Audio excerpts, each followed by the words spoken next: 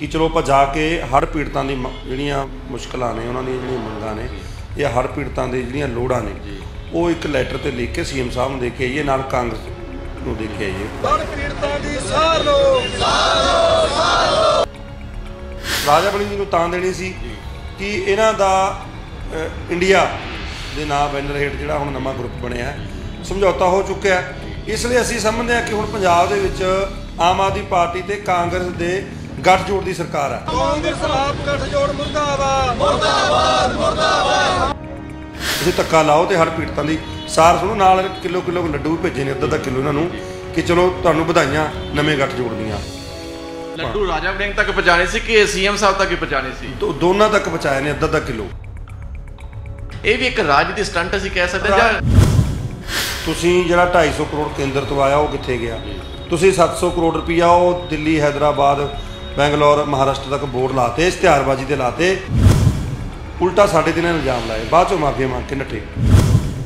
ਸਵਾਗਤ ਹੈ, ਤੁਸੀਂ ਦੇਖ ਰਹੇ ਹੋ ਹਮਦਰਦ ਟੀਵੀ ਤੇ ਪਿਛਲੇ ਦਿਨੀ ਬੀਤੇ ਦਿਨ ਸਰਬਜੀਤ ਸਿੰਘ ਝਿੰਜਰ, ਜਿਹੜੇ ਕਿ ਯੂਥ ਅਕਾਲੀ ਦਲ ਲੀਡਰ ਹੈਗੇ ਨੇ, ਸ਼੍ਰੋਮਣੀ ਅਕਾਲੀ ਦਲ ਦੇ ਤੋਂ ਉਹਨਾਂ ਦੇ ਵੱਲੋਂ ਪ੍ਰੋਟੈਸਟ ਕੀਤਾ ਗਿਆ ਪੰਜਾਬ ਸਰਕਾਰ ਨੂੰ ਘੇਰਿਆ ਗਿਆ, ਆਮ ਆਦਮੀ ਪਾਰਟੀ ਸਰਕਾਰ ਨੂੰ ਘੇਰਿਆ ਗਿਆ ਤੇ ਗਠਬੰਧਨ ਦੀ ਜਿਹੜੀ ਗੱਠ ਜੋੜ ਦੀ ਜਿਹੜੀਆਂ ਗੱਲਾਂ ਨੂੰ ਲੈ ਕੇ ਵੀ ਕੁਝ ਅਜਿਹੀ ਪ੍ਰਤੀਕਿਰਿਆ ਜਿਹੜੀਆਂ ਕੱਲ ਹੋਈਆਂ ਸੀ ਤੇ ਪ੍ਰਸ਼ਾਸਨ ਦੇ ਵੱਲੋਂ ਰੋਕਿਆ ਗਿਆ ਜਿੱਥੇ ਉਹਨਾਂ ਨੇ ਪਹੁੰਚਣਾ ਸੀਐਮ ਹਾਊਸ ਤੱਕ ਪਹੁੰਚ ਕਰਨੀ ਸੀ। ਝਿੰਜਰ ਸਾਹਿਬ ਸਭ ਤੋਂ ਪਹਿਲਾਂ ਸਵਾਗਤ ਹੈ। ਧੰਨਵਾਦ ਜੀ ਬਹੁਤ ਕੱਲ ਕੀ ਜਿਹੜਾ ਤੁਹਾਡੀ ਤੁਸੀਂ ਇੱਥੋਂ ਪੰਜਾਬ ਸਰਕਾਰ ਤੱਕ ਕਿਹੜੀ ਗੱਲ ਪਹੁੰਚਾਉਣਾ ਚਾਹੁੰਦੇ ਸੀ ਤੁਹਾਨੂੰ ਰਸਤੇ 'ਚ ਰੋਕ ਲਿਆ ਗਿਆ ਰਸਤੇ 'ਚ ਤਾਂ ਵੈਸੇ ਹੀ ਰੋਕ ਲਿਆ ਉਹਨਾਂ ਨੇ ਕਿਉਂਕਿ ਅਸੀਂ ਤਾਂ main core committee youth Dal ਦੇ ਜਿਹੜੇ ਮੈਂਬ- ਅਹੁਦੇਦਾਰ ਸੀ। ਜੀ ਜੀ। ਮੇਨ ਜਿਹੜੀ ਯੂਥ ਦਲ ਦੀ ਸਾਡੀ ਕੋਰ ਕਮੇਟੀ ਆ ਉਹ ਸੱਦੇ ਸੀਗੇ। ਜੀ ਜੀ। ਕਿ ਚਲੋ ਆਪਾਂ ਜਾ ਕੇ ਹੜ੍ਹ ਪੀੜਤਾਂ ਦੀ ਮ- ਜਿਹੜੀਆਂ ਮੁਸ਼ਕਲਾਂ ਨੇ ਉਹਨਾਂ ਦੀਆਂ ਜਿਹੜੀਆਂ ਮੰਗਾਂ ਨੇ ਜਾਂ। ਹੜ੍ਹ ਪੀੜਤਾਂ ਦੇ ਜਿਹੜੀਆਂ ਲੋੜਾਂ ਨੇ ਉਹ ਇੱਕ ਲੈਟਰ ਤੇ ਲਿਖ ਕੇ ਸੀਐਮ ਸਾਹਿਬ ਨੂੰ ਦੇ ਕੇ ਆਈਏ ਨਾਲ ਕਾਂਗਰਸ ਨੂੰ ਦੇ ਕੇ ਆਈਏ ਕਾਂਗਰਸ ਭਵਨ ਵਿਖੇ ਜਾ ਕੇ ਉਹਦੇ ਪ੍ਰਧਾਨ ਨੇ ਰਾਜਾ ਬਣਿੰਗ ਜੀ। ਅ, ਹੜ੍ਹ ਪੀੜਤਾਂ ਦੀ ਜਿਵੇਂ ਪਹਿਲਾਂ ਗੱਲ ਕਰਾਂ ਮੇਨ ਮੁੱਦਾ ਸੀਗਾ ਸਾਡਾ ਹੜ੍ਹ ਪੀੜਤਾਂ ਦੀ ਮਦਦ ਲਈ ਮੰਗ ਪੱਤਰ ਦੇਣਾ। ਜਿਹਦੇ 'ਚ ਅਸੀਂ ਮੰਗ ਕੀਤੀ ਆ ਯੂਥ ਅਕਾਲੀ ਦਲ ਵੱਲੋਂ। ਕਿ ਜੇ ਕਿਸੇ ਦਾ ਝੋਨਾ ਕੋਈ ਖਰਾਬ ਹੋ ਗਿਆ। ਖੇਤ ਤਾਂ ਉਹਦਾ 50000 ਜੀ।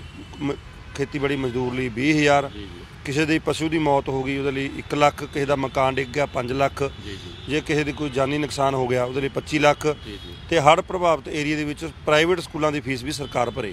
ਇਹ ਮੰਗਾਂ ਸੀਗੀਆਂ। ਮੰਗਾਂ ਅਸੀਂ ਨਾਲ ਜਿੱਥੇ ਆਮ ਆਦਮੀ ਪਾਰਟੀ ਦੇ ਮੁੱਖ ਮੰਤਰੀ ਨੇ ਮਾਨ ਸਾਹਿਬ ਉਹਨਾਂ ਨੂੰ ਦੇਣੀ ਸੀ। ਨਾਲ ਅਸੀਂ ਕਾਂਗਰਸ ਦੇ ਰਾਜਾ ਵੜਿੰਗ ਜੀ ਨੂੰ। ਰਾਜਾ ਵੜਿੰਗ ਜੀ ਨੂੰ ਤਾਂ ਦੇਣੀ ਸੀ ਕਿ ਇਹਨਾਂ ਦਾ ਇੰਡੀਆ ਦੇ ਨਾਂ ਬੈਨਰ ਹੇਠ ਜਿਹੜਾ ਹੁਣ ਨਵਾਂ ਗਰੁੱਪ ਬਣਿਆ। ਹੈ, ਸਮਝੌਤਾ ਹੋ ਚੁੱਕਿਆ। ਇਸ ਲਈ ਅਸੀਂ ਸਮਝਦੇ ਹਾਂ ਕਿ ਹੁਣ ਪੰਜਾਬ ਦੇ ਵਿੱਚ ਆਮ ਆਦਮੀ ਪਾਰਟੀ ਤੇ ਕਾਂਗਰਸ ਦੇ ਗੱਠਜੋੜ ਦੀ ਸਰਕਾਰ ਹੈ। ਭਾਵੇਂ ਇਹ ਮੰਨ ਨਹੀਂ ਰਹੇ ਹਲੇ। ਪਰ ਅਸੀਂ ਮੰਨ ਲਿਆ ਹੁਣ ਕਿ ਇਹ ਗੱਠਜੋੜ ਦੀ ਸਰਕਾਰ ਆਉਣ ਵਾਲੇ ਸਮੇਂ 'ਚ ਇਹ ਮੰਤਰੀ ਵੀ ਰਾਜਾ ਵੜਿੰਗ ਜੀ ਮੀਡੀਆ 'ਚ ਕਨਸੂਆਂ ਚੱਲ ਰਹੀਆਂ ਨੇ ਕਿ ਡਿਪਟੀ ਸੀਐਮ ਬਣ ਸਕਦੇ ਨੇ।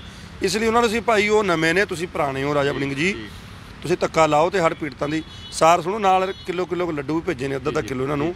ਕਿ ਚਲੋ ਤੁਹਾਨੂੰ ਵਧਾਈਆਂ ਨਵੇਂ ਗੱਠਜੋੜ ਦੀਆਂ ਪਰ ਅਸੀਂ ਕੋਰ ਕਮੇਟੀ ਦੇ ਮੈਂਬਰਾਂ ਨੇ ਇੱਥੋਂ ਪਾਰਟੀ ਦਫ਼ਤਰ ਤੋਂ ਜਾਣਾ ਸੀ ਪਰ ਇੱਥੇ ਬਾਹਰ ਹੀ ਫੋਰਸ ਨਹੀਂ ਲਾ ਦਿੱਤੀ ਗਈ। ਮੈਂਬਰਾਂ ਦੀ ਗਿਣਤੀ ਤਾਂ ਤੁਹਾਡੇ ਜ਼ਿਆਦਾ ਸੀ।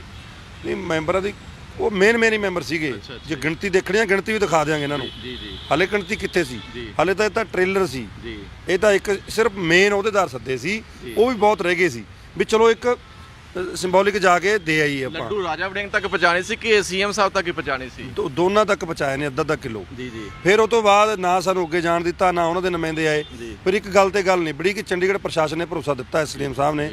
ਜਿਹੜੇ ਮੌਕੇ ਦੇ ਅਫਸਰ ਸਾਹਿਬਾਨ ਸੀਗੇ ਕਿ ਚਲੋ ਅਸੀਂ ਤੁਹਾਡਾ ਇਹ ਮੈਮੋਰੈਂਡਮ ਉਹਨਾਂ ਤੱਕ ਪਹੁੰਚਾਉਨੇ ਆ ਆਵਾਜ਼ ਪਹੁੰਚਾਉਨੇ ਆ। ਫਿਰ ਅਸੀਂ ਨਾਲ ਉਹਨਾਂ ਨੂੰ ਚੰਡੀਗੜ੍ਹ ਪ੍ਰਸ਼ਾਸਨ ਨੂੰ ਬੇਨਤੀ ਵੀ ਕੀਤੀ ਆ ਚੇਤਾਵਨੀ ਵੀ ਦਿੱਤੀ ਆ ਕਿ ਠੀਕ ਆ ਅਸੀਂ ਭਾਈ ਸਾਡੇ ਸਾਡਾ ਮਕਸਦ ਕੋਈ ਉੱਥੇ ਰੌਲਾ ਪਾਉਣਾ। ਫੋਟੋਆਂ ਖਿਚਾਉਣੀਆਂ ਮੀਡੀਆ 'ਚ ਹਾ ਹੁੱਲਾ ਕਰਨਾ ਨਹੀਂ ਸਾਡਾ ਮਕਸਦ ਹੈ ਹੜ੍ਹ ਪੀੜਤਾਂ ਦੀ ਸਹਾਇਤਾ ਲਈ ਆਵਾਜ਼ ਚੱਕਣੀ। ਜੀ। ਤੁਸੀਂ ਸਾਡੀ ਆਵਾਜ਼ ਪਹੁੰਚਾ ਦਿਓ।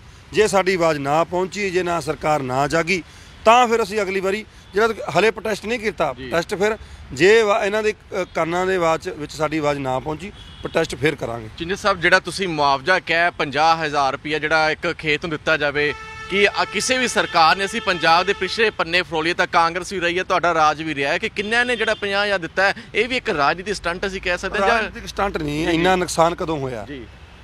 1992 ਚ ਆਏ ਸੀ ਇੰਨੇ ਇੰਨੇ ਜਿਹੜੇ ਫਲੱਡ ਆਏ ਸੀ। ਉਹ ਤੋਂ ਬਾਅਦ 30 ਸਾਲ ਬਾਅਦ ਕਿਤੇ ਇੰਨਾ ਜ਼ਿਆਦਾ ਨੁਕਸਾਨ ਹੋਇਆ। ਉਦੋਂ ਗੱਲਾਂ ਹੋਰ ਸੀਗੀਆਂ। 30 ਸਾਲ 'ਚ ਕਿੰਨਾ ਕੁਝ ਚੇਂਜ ਹੋ ਗਿਆ ਖਰਚੇ ਵੱਧ ਗਏ ਜੀ। ਹਰ ਚੀਜ਼ ਵੱਧ ਗਈ। ਇੰਨਾ ਨੁਕਸਾਨ ਕਦੋਂ ਹੋਇਆ? ਹੁਣ ਤਾਂ ਤਹਿਸ ਨਹਿਸ ਹੋ ਗਿਆ ਘਰ ਡੁੱਬ ਗਏ ਖੇਤ ਜ਼ਮੀਨਾਂ ਹੜ ਗਈਆਂ ਨਾਲ। ਹਲੇ ਕਿਹੜੇ ਹਟ ਗਿਆ ਹਲੇ ਵੀ ਚੱਲੀ ਰਿਹਾ ਕੰਮ। ਪੰਜਾਬ ਸਰਕਾਰ ਕਹਿੰਦੀ ਹੈ ਹੁਣ ਪੈਸੇ ਵੰਡਾਂਗੇ ਹੁਣ ਜੇ ਸਮਾਂ ਆਏਗਾ ਤੁਹਾਨੂੰ ਲੱਗਦਾ ਹੁਣ ਕਿਸਾਨਾਂ ਦੇ ਸਮੇਂ ਖੇਤਾਂ ਦੇ ਵਿੱਚ ਬਜਾਈ ਦਾ ਸਮਾਂ ਹੈਗਾ ਪਰ ਖੇਤ ਰੇਤੇ ਨਾਲ ਭਰੇ ਪਏ ਨੇ ਖੇਤ ਵਿੱਚ ਜਿਵੇਂ ਲੱਗਦਾ ਰੇਗਿਸਤਾਨ ਹੀ ਬਣੇ ਪਏ ਆ। ਬੁਰਾ ਹਾਲ ਹੈ ਇਹਨਾਂ ਨੇ ਕੁਝ ਨਹੀਂ ਦੇਣਾ। ਜੀ। ਤਾਂ ਹੀ ਅਸੀਂ ਜਿਹੜੀ ਨਾਅਰੇਬਾਜ਼ੀ ਹੋਈ ਆ ਉਹ ਤਾਂ ਫਿਰ ਜਦੋਂ ਪ੍ਰਸ਼ਾਸਨ ਨੇ ਰੋਕਿਆ ਤਾਂ ਕੀਤੀ ਨਹੀਂ ਸਾਡਾ ਇਦਾਂ ਦਾ ਕੋਈ ਮਕਸਦ ਨਹੀਂ ਸੀ। ਸਾਡਾ ਮਕਸਦ ਤਾਂ ਸਿਰਫ ਮੰਗਾਂ ਦੇਣੀਆਂ ਸੀ। ਪ੍ਰਸ਼ਾਸਨ ਇਹਨਾਂ ਨੇ ਅਸੀਂ ਬੇਨਤੀ ਕਰਦੇ ਹਾਂ ਸਰਕਾਰ ਨੂੰ ਆਮ ਆਦਮੀ ਪਾਰਟੀ ਤੇ ਕਾਂਗਰਸ ਦੀ ਗੱਠਜੋੜ ਸਰਕਾਰ ਆ। ਦੇਖੋ ਇਸ ਟਾਈਮ ਅਸੀਂ ਇਹਨਾਂ ਨੂੰ ਬੇਨਤੀ ਕਰਦੇ ਹਾਂ ਕਿ ਤੁਸੀਂ ਜਿਹੜਾ 250 ਕਰੋੜ ਕੇਂਦਰ ਤੋਂ ਆਇਆ ਉਹ ਕਿੱਥੇ ਗਿਆ? ਤੁਸੀਂ 700 ਕਰੋੜ ਰੁਪਈਆ ਉਹ ਦਿੱਲੀ ਹੈਦਰਾਬਾਦ ਬੈਂਗਲੌਰ ਮਹਾਰਾਸ਼ਟਰ ਤੱਕ ਬੋਰਡ ਲਾਤੇ ਇਸ਼ਤਿਹਾਰਬਾਜ਼ੀ ਤੇ ਲਾਤੇ ਉਹ ਭਾਈ ਉਹੀ ਇਸ਼ਤਿਹਾਰਬਾਜ਼ੀ ਘਟਾ ਕੇ ਇਹਨਾਂ ਦੀ ਮਦਦ ਕਰ ਦਿਓ ਪਰ ਸਰਕਾਰ ਦੇ ਕੰਨੀ ਜੂ ਨਹੀਂ ਸਰਕਰੀ। ਜੇ ਨਾ ਸਰਕੀ ਫਿਰ ਵੱਡੇ ਸਾਨੂੰ ਵੱਡੇ ਪੱਧਰ ਤੇ ਮਜਾਰੇ ਪ੍ਰੋਟੈਸਟ ਵੀ ਕਰਨੇ ਪੈਣਗੇ। ਬੀਜੇਪੀ ਸਰਕਾਰ ਨਾਲ ਹਮੇਸ਼ਾ ਤੁਹਾਡੀ ਚਲੋ ਗੱਠ ਜੋੜ ਰਿਹਾ ਹੈ ਤਾਂ ਹੁਣ ਜਿਹੜਾ ਪਿਛਲੇ ਸਮੇਂ ਸੁਖਦੇਵ ਸਿੰਘ ਢੀਂਡਸਾ ਨੇ ਕਿਹਾ ਕਿ ਸ਼ਾਇਦ ਜਿਹੜੀ ਸੁਖਬੀਰ ਸਿੰਘ ਬਾਦਲ ਦੀ ਕਲਦਲ ਹੈਗੀ ਉਹਨੂੰ ਜਿਹੜੇ ਮੋਦੀ ਸਾਹਿਬ ਹੈਗੇ ਪਸੰਦ ਹੀ ਨਹੀਂ ਕਰਦੇ। ਦੇਖੋ ਜਿਹੜਾ ਉਹਨਾਂ ਨੇ ਕਿਹਾ ਹੈ ਕਿ ਅਸੀਂ ਵਾਰਸ ਹਾਂ। ਜੀ। ਪਾਰਟੀ ਦੇ ਵਾਰਸ ਮੈਂ ਸਾਰਿਆਂ ਨੂੰ ਬੇਨਤੀ ਕਰਦਾ ਭਾਵੇਂ ਜਿਹੜੇ ਵਾਰਸ ਬਣਾਉਣ ਵਾਲੇ ਨੇ ਜਾਂ। ਬਣਨ ਵਾਲੇ ਨੇ। ਕਿ ਮਜ਼ਾਕ ਦੇ ਪਾਤਰ ਨਹੀਂ ਬਣੀਦਾ ਹੁੰਦਾ। ਪਾਰਟੀ ਦੇ ਕਿਸੇ ਵੀ ਪਾਰਟੀ ਦੇ ਮੈਂ ਗੱਲ ਕਹਿਣਾ ਜਿਹੜੇ ਅਸਲ ਵਾਰਸ ਹੁੰਦੇ ਨੇ ਨਾ। ਉਹ ਵਰਕਰ ਹੁੰਦੇ ਨੇ। ਜਿਹੜੇ ਦਿਨ ਰਾਤ ਪਾਰਟੀ ਲਈ ਮਰਦੇ ਨੇ ਖੱਪਦੇ ਨੇ ਜੀ। ਆਗੂ ਹੁੰਦੇ ਨੇ ਜਿਹੜੇ ਜਿਹੜੇ ਲੀਡ ਕਰਦੇ ਨੇ ਅੱਗੇ ਹੋ ਕੇ ਲੜਾਈ ਲੜਦੇ ਨੇ। ਸੋ ਇਸ ਮੌਕੇ ਸ਼੍ਰੋਮਣੀ ਅਕਾਲੀ ਦੇ ਪ੍ਰਧਾਨ ਸਰਦਾਰ ਸੁਖਬੀਰ ਸਿੰਘ ਬਾਦਲ ਜੀ ਨੇ ਜਿਨ੍ਹਾਂ ਨੇ ਦੋ ਵਾਰ 7 ਤੇ 12 ਚ ਇਤਿਹਾਸ ਪੰਜਾਬ ਦੇ ਵਿੱਚ ਪਹਿਲੀ ਵਾਰ। ਦੁਹਰਾਇਆ ਗਿਆ ਸੀ ਕਿ ਕਿਸੇ ਸਰਕਾਰ ਨੇ ਰਿਪੀਟ ਕੀਤਾ ਹੋਵੇ।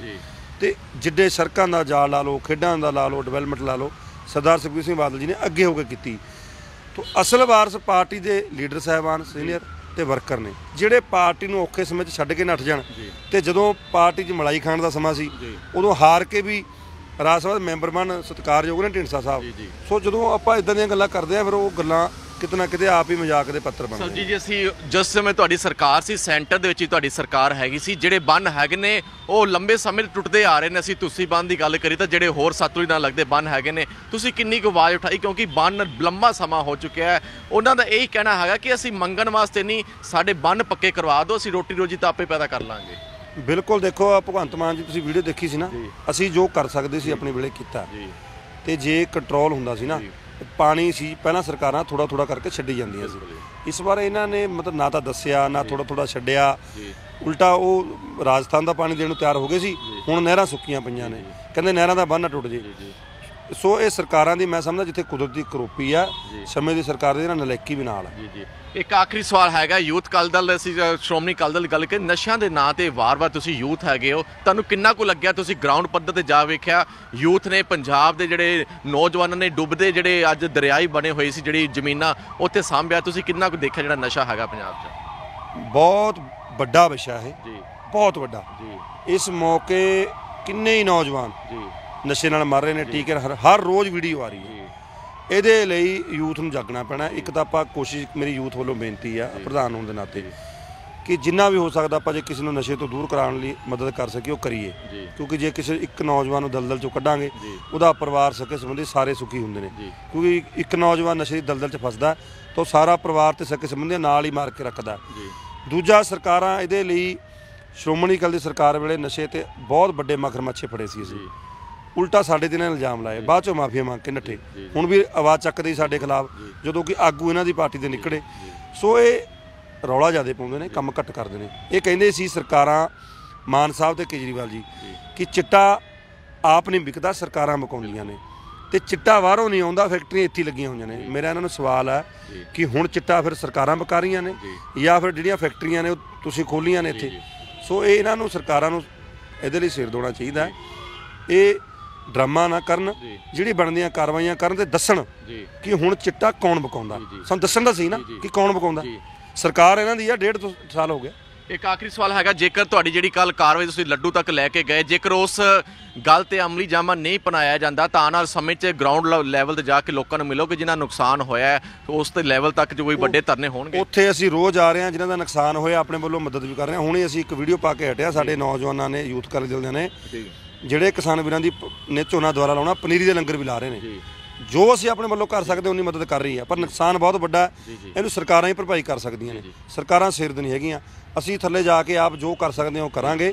ਤੇ ਜੇ ਸਰਕਾਰ ਪੀੜਤਾਂ ਦੀ ਆਵਾਜ਼ ਨਹੀਂ ਸੁਣੂਗੀ ਤਾਂ ਠੋਕ ਕੇ ਵੱਡੇ ਮਜਾਰੇ ਕਰਾਂਗੇ। ਜੀ ਧੰਨਵਾਦ ਜੀ। ਸੋ ਇਸ ਸਾਡੇ ਨਾਲ ਯੂਥ ਅਕਾਲੀ ਦਲ ਦੇ ਪ੍ਰਧਾਨ, ਪੰਜਾਬ ਪ੍ਰਧਾਨ, ਜਿਨ੍ਹਾਂ ਦੇ ਵੱਲੋਂ ਕਿਹਾ ਗਿਆ ਕਿ ਜੇਕਰ ਆਉਣਾ ਸਮੇਂ 'ਚ ਹਰ ਪੀੜਤਾਂ ਦੇ ਲਈ ਸਰਕਾਰ ਉੱਚ ਕਦਮ ਨਹੀਂ ਚੱਕਦੀ ਤਾਂ ਅਸੀਂ ਵੱਡਾ ਧਰਨਾ ਜਿਹੜਾ ਕਿ ਵੱਡੇ ਪੰਜਾਬ ਲੈਵਲ ਤੱਕ ਦੇ ਧਰਨੇ ਅਸੀਂ ਲਗਾਵਾਂਗੇ। ਕੈਮਰਾ ਪਰਸਨ ਸ਼ਹੀਦ ਨਾਲ ਸੰਦੀਪ ਕੰਬੋਜ, ਚੰਡੀਗੜ੍ਹ ਤੋਂ।